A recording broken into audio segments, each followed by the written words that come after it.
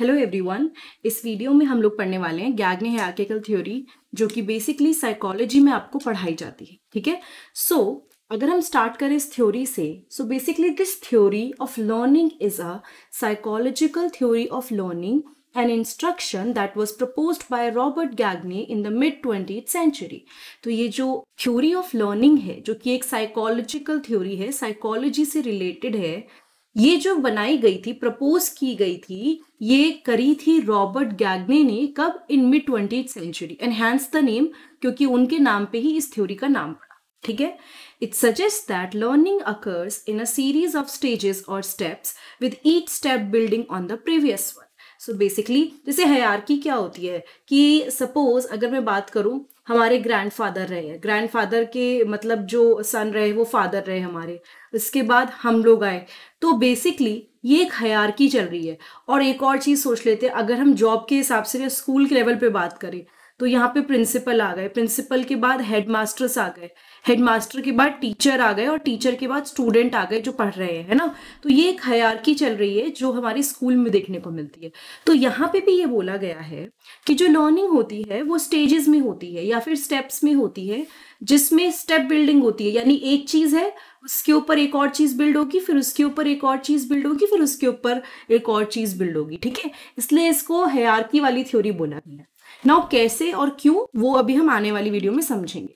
So basically पाँच stages बोली गई हैं इस थ्योरी के according there are five stages and वो स्टेजेस क्या क्या हैं, वो देख लेते हैं। जैसे सबसे पहले है स्टिमुलस स्टिमुलस मतलब क्या होता है? देखो स्टिमुलस मैं आपको ना सिंपल साइंस की लैंग्वेज में अगर समझाऊं तो आपने अगर टच मी नॉट प्लांट देखा हो या एक ऐसा प्लांट देखा हो जिसको जैसे ही आप छूते हो, वो बंद हो जाता है अपने आप से, है ना? अगर आपने कभी देखा है तो आपको पता होगा।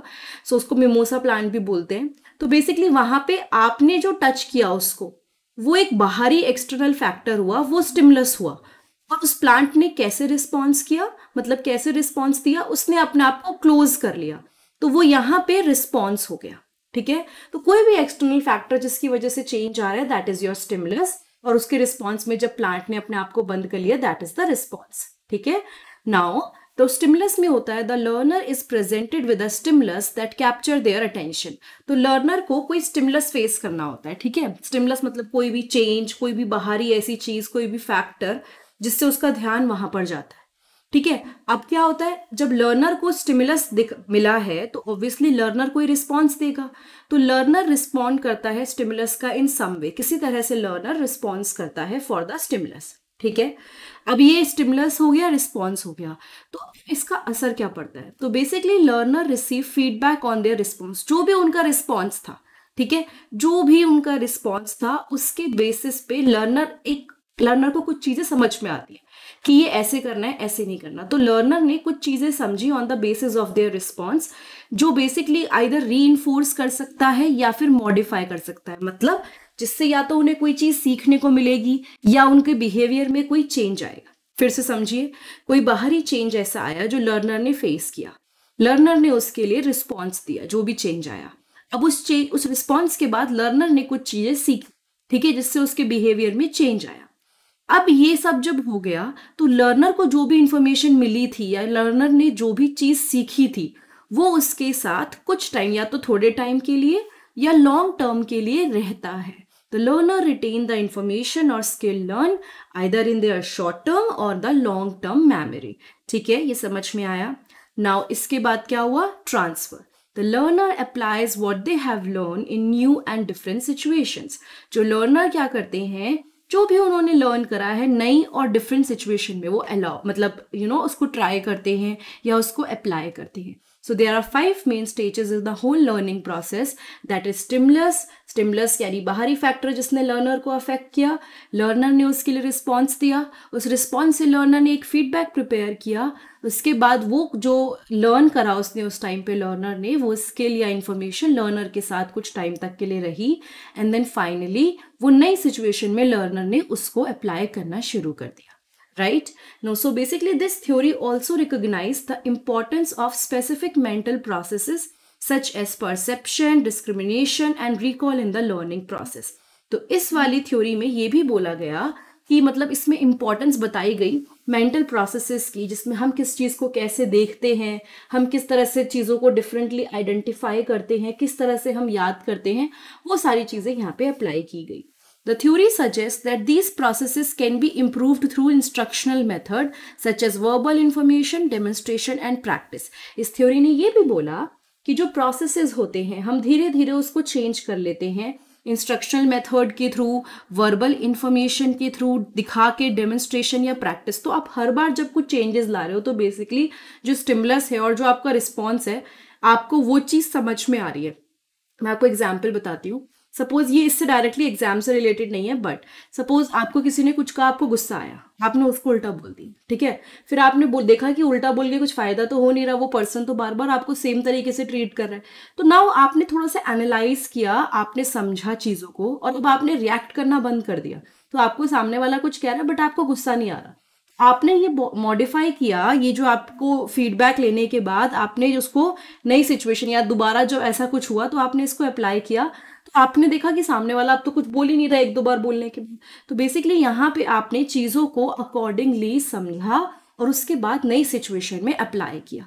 ठीक है? Overall Gagne hierarchical theory of learning is a comprehensive theory that emphasise the importance of the instructional process in facilitating learning and improving performance so basically ये जो थ्योरी है लर्निंग की एक ऐसी मिली जुली थ्योरी है जिसमें हम लोग इंस्ट्रक्शनल प्रोसेस जो होता है उसकी इम्पोर्टेंस पे एम्फिसाइज करते हैं और किस तरह से हम लोग इंस्ट्रक्शनल प्रोसेस के थ्रू परफॉर्मेंस को इम्प्रूव कर सकते हैं, इस पे भी फोकस करते हैं। ये जो फील ये सॉरी ये जो थ्योरी है, ये काफ़ी ज़्यादा वाइडली यूज़ होती है in the field of education and ये इन्फ्लुएंस करती है design of the instructional material and programme so the theory has been widely use in the field of education काफ़ी अच्छे से, काफ़ी ज़्यादा यूज़ हो रही है ये एजुकेशन की फ़ील्ड में. एंड इससे जो इंसान किस तरह से पढ़ाता है इंस्ट्रक्शनल मटेरियल और प्रोग्राम्स को हमेशा से ये इन्फ्लुएंस करती है. तो सेम चीज़ होगी कि किसी ने कुछ पढ़ाया, फिर किस तरह से फीडबैक आया, फिर वो ओवरऑल चेंजेस जो है इस थ्योरी के बेसिस पे आता है. ठीक है? नाउ कुछ फीचर्स हैं जो हम डिटेल में पढ़ेंगे इस थ्योरी के बारे में, जैसे कि हायरगिकल ऑर्गेनाइजेशन मतलब इसमें बेसिकली इसने क्या बोला? ये ऑर्गेनाइज हुई हुई है एक हयारकी में। किस तरह से? मतलब हर एक नई चीज़ के ऊपर दूसरी चीज़ बिल्ड हो रही है। तो suppose this was the stimulus this was the response this was was this was the feedback then feedback के बाद आपने कुछ टाइम तक उसको रखा, फिर नई सिचुएशन में अप्लाई किया। तो पुरानी या प्रीवियस जो चीज़ें हैं, उस पर नई चीज़ें बिल्ड हो रही है। The nine event of instruction form a progression that begin with gaining the learner's attention and add, ends with evaluating learning outcome. तो बेसिकली यहाँ पे बहुत सारे इवेंट होते हैं ठीक है? जो लर्नर की अटेंशन को ग्रास्प करने से स्टार्ट होते हैं और उसके बाद लर्निंग आउटकम को हम इवेल्युएट कर पाते हैं। तो बेसिकली इसके अंदर भी स्टेप्स आते हैं और इसने क्या बोला कि स्टार्ट हुआ हमने लर्नर की अटेंशन ली अपनी तरफ़। उसके बाद हमने धीरे धीरे धीरे इवेल्युएटिंग यानी कि क्या आउटकम्स आए इन सबको इवेल्युएट करें। Matching instruction to outcome. The theory stresses the importance of matching st instructional strategies to the type of learning outcome desired. Different instruction strategies are used for cognitive, motor or verbal skills. ये जो theory है ये stress करती है on the importance of matching instructional strategy to the type of learning outcome desired आप चाहते हो कि इस तरह से आउटकम निकले जो भी आप पढ़ा रहे हो उसका तो इसके साथ आपके इंस्ट्रक्शंस मैच होने चाहिए। अगर आपके इंस्ट्रक्शन इसके साथ मैच नहीं होंगे तो फ़ायदा ही नहीं है उन इंस्ट्रक्शंस का, है ना? डिफरेंट इंस्ट्रक्शनल स्ट्रैटेजीज मतलब अलग अलग तरह की इंस्ट्रक्शन देने वाली स्ट्रैटेजीज यूज़ होती हैं। कॉग्निटिव यानी माइंड से रिलेटेड या अगर आप कोई स्किल्स शो कर रहे हो, बोलने वाले, या आप हाथों से कोई चीज़ कर रहे हो, इन सब चीज़ों के लिए डिफरेंट स्ट्रैटेजीज यूज़ होती हैं। ठीक है? सेकेंड थर्ड थिंग आ गई प्रायर लर्निंग एक्सपीरियंस ये जो थ्योरी है, ये एक्नॉलेज करती है कि जो प्रायर लर्निंग एक्सपीरियंस है, वो इंस्ट्रक्शन का इफेक्टिवनेस को इन्फ्लुएंस कर सकता है। मतलब आपके पास, आपने जिस तरह से किसी चीज़ को सीखा है या जो आपका पुराना एक्सपीरियंस है, उससे अभी जो आप इंस्ट्रक्शन आपको मिल रहे हैं, उस पर असर पड़ सकता ठीक है? Transfer of learning Gagne theory recognise that learners can apply knowledge and skill learn in one situation to new and different situation obviously आपने कोई एक चीज़ यहाँ पर सीखी तो आप उसको नई सिचुएशन में अप्लाई कर सकते हो।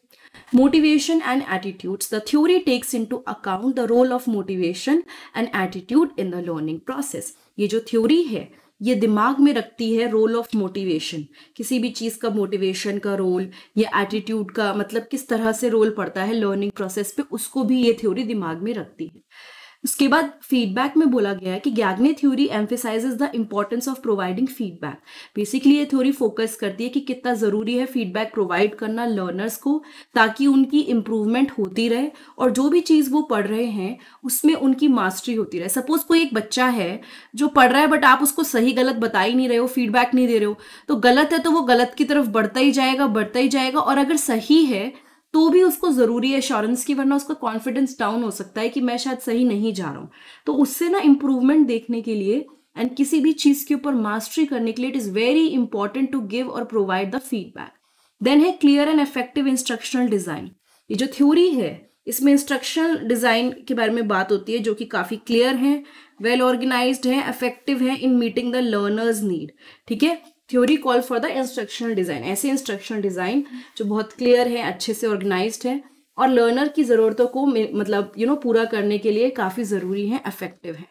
So I think that is it अगर आपको ये सारी चीज़ें जो भी आपने पढ़ी हैं, इसके नोट्स चाहिए तो आप वेबसाइट पे जाइए प्रेप विद हर्षिता नीचे डिस्क्रिप्शन बॉक्स में इसका लिंक भी है, वरना डायरेक्टली गूगल पे आप टाइप कर सकते हैं और वहाँ पे वेबसाइट पे जाके आप सर्च कर सकते हैं टॉपिक वाइज एंड देन आपको अगर इस टॉपिक से रिलेटेड या बी या एम से रिलेटेड और वीडियोज़ देखनी है तो आप मेरे चैनल पर जाइए और प्ले चेक कीजिए, वहाँ पर आपको सारी वीडियोज़ मिलेंगी. टेलीग्राम ज्वाइन कर लीजिए for all the updates and अगर ये वीडियो आपको थोड़ी भी अच्छी लगी या आपको इस पर कुछ भी समझ में आया तो फटाफट से चैनल को सब्सक्राइब कर लीजिए। बाकी हम लोग मिलते हैं अगली वीडियो में।